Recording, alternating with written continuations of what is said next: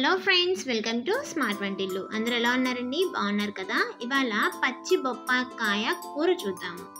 మీరు విన్నది నిజమేనండి రా పపాయాతో కర్రీ. చాలా బాగుంటుంది టేస్ట్ అనేది. మనకి ఇంకా ఇమ్యూనిటీ కావాలి కదా? ఇప్పుడు మళ్ళా ఫోర్త్ వేవ్ అని ఇంకేదేదో చెప్తున్నారు.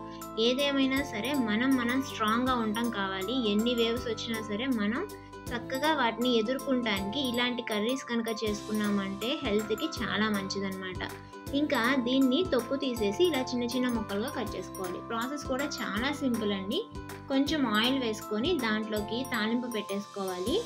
ఇది మనమే కాదండి చాలా దేశాల్లో వాడతారు. ఎన్నో రకాల డిషెస్లో పచ్చి బొప్పాకాయ వాడుతూ ఉంటారు. మనకి ఎక్కువ ఇక్కడ యూజ్ అనేది తెలియదు కనుక మనం తక్కువ వాడతాము.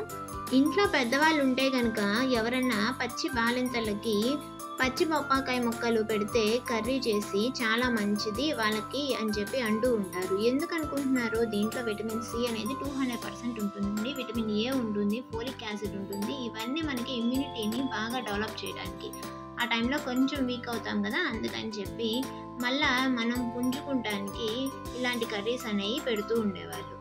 సరే ఉల్లిపాయలు వేగిన తర్వాత కొంచెం అల్లం వెల్లుల్లి పేస్ట్ కూడా దోరగా వేయించుకొని పచ్చివాసన పోయేంత వరకు ఉంచుకొని తర్వాత ఈ బొప్పాకాయ ముక్కల్ని సన్నగా కట్ చేసుకొని దాంట్లోకి యాడ్ చేసుకొని మొత్తం ఒకసారి కలుపుకోవాలి.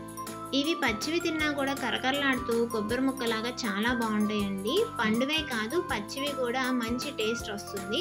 ఇంకా డైజెషన్కి మాత్రం చాలా బాగా హెల్ప్ చేస్తాయి అన్నమాట యాంటీ ఆక్సిడెంట్స్ ఎక్కువ ఉండటం వల్ల గుండె జబ్బులు రాకుండా కాపాడుకోవచ్చు. దీంట్లో ఒక తగినంత ఉప్పు వేసుకొని ఇక్కడ నేను సైంధవ లవణం వాడుతున్నానండి. కొద్దిగా అది కూడా మొత్తం మిక్స్ చేసుకున్న తర్వాత దాంట్లోకి మూత పెట్టేసి ఒక పది నిమిషాలు ఉడికించుకోవాలి. కావాలనుకుంటే ఒక్క చుక్క వాటర్ పోసుకోండి. ఏం పోయకపోయినా సరే దాంట్లోంచి కొద్దిగా తేమ అనేది వస్తుంది కనుక అప్పుడు మీకు కూర అనేది బాగా మగ్గుతుంది.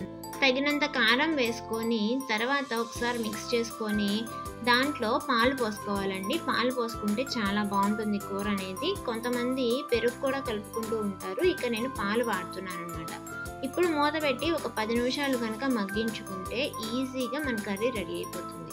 ఇలా కర్రీ చేసుకొని తినడం వల్ల మనకి ఇమ్యూనిటీ పెరుగుతుందండి. దాంతోపాటు డైజెషన్ కూడా చాలా బాగుంటుంది.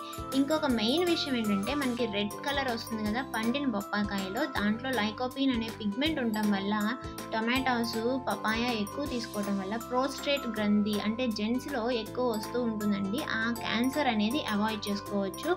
ఎన్నో రకాల సమస్యల నుంచి మనల్ని మనం కాపాడుకున్న వాళ్ళం అవుతాం. ఇంకా ఇది రైస్లోకి రోటీలోకి చపాతీలోకి దేంట్లోకైనా బాగా సెట్ అవుతుంది. ఏమంటారు? నచ్చిన వీడియో నచ్చితే కనుక లైక్ చేసి షేర్ చేయండి. ఛానల్ని ఫస్ట్ టైం చూస్తుంటే సబ్స్క్రైబ్ చేసుకోండి. Thank you friends. Thank you for watching.